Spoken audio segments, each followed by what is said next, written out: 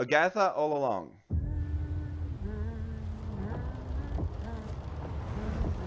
Which we'll discuss at the end. Let's see what's Another up. beautiful day. Surprised to see you out here, Detective. Jane Doe. Found her down here by the water. Cause? Blunt force trauma. What happened to you? First. This is after um, WandaVision, right? I have a lead in the case, She's not dead. but I can't shake this feeling I'm seeing it wrong. Wait, no, that's her. Wait, is that the actress? Yeah, Wanda. There you go. Is this really how you see yourself? That witch is gone, leaving you trapped in her distorted spell. Claw your way out. Oh, she got trapped in it. Still black and white. Okay, a couple of I things. miss the glory days. She took every bit of power I had, but I can beat that witch again.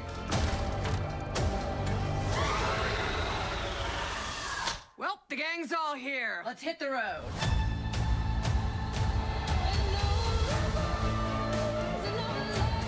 Gonna walk the witch's road.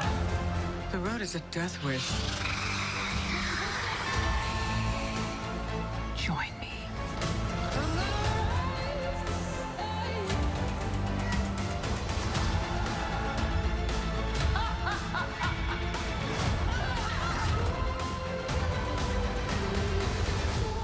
What witch in her right mind would join Agatha Harkness's coven?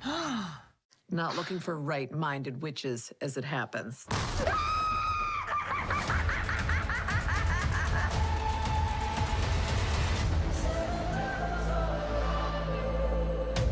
Okay.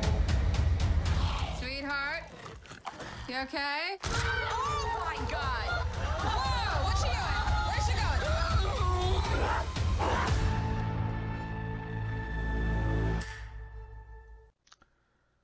Okay, well, that's a show. Um, I have a couple of questions. Number one, of course, who asked for the show? I don't, I, I don't know, but we'll get to it. I think I can see why they made this show, and I'll get to it in a sec. Uh, the reason I'm asking this is because I know that Agatha was like a, a Agatha was like a, um, she's like a, a comic book uh, character, but before WandaVision, I had no idea who she was, and my knowledge on comic books is like medium. I'm kind of like I'm getting a lot of like information from osmosis, and before the WandaVision, I had no idea who Agatha was. Uh, now I know who she is, like another witch, and I did enjoy WandaVision. I did, um, I really enjoyed. It has some really cool ideas, the whole black and white and you know old school like pictures and whatnot. And again, spoilers, but not really. It's kind of like a shame what happened to Wanda in the end, which is really weird. But anyways, that's a whole different story.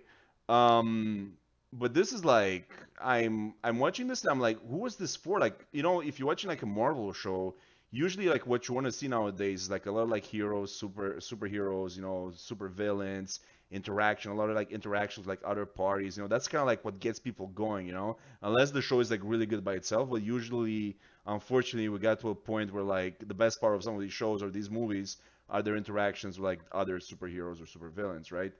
And I'm not first of all, I'm not really seeing a super villain in this uh, in the show, unless again it's like a hidden. It's like it's like one of the other witches was like the super villain all along.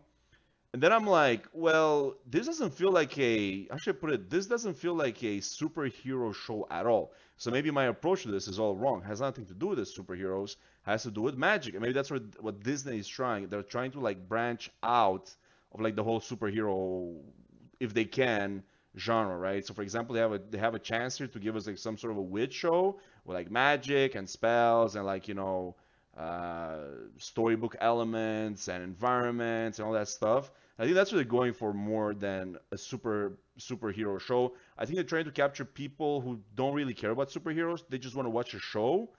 And perhaps if you don't ever watch any of the Marvel movies and you're looking at this and you're like, oh, okay, this looks pretty cool. It's like a it's like a witches show, you know, like magic and stuff. So I want to watch it, even though like you have no idea it's about you know superheroes or that's where it's coming from. I feel like they're distancing themselves quite a bit from the superhero genre in this show. Again, the only thing we saw was Wanda, and again, if you don't know who Wanda is, like you're not really missing anything, right? So, looking at it from that point of view, I can see why this exists. Looking at it from a superhero point of view, I'm like, I don't, I don't get it. Like, I don't know. And the, actr- the actress was pretty good. She was pretty good in WandaVision, so you know that's cool. The show could be really good, but um, is it gonna hit the right audience? I have no idea. I don't know. We'll see what's up. Thank you for watching. Base.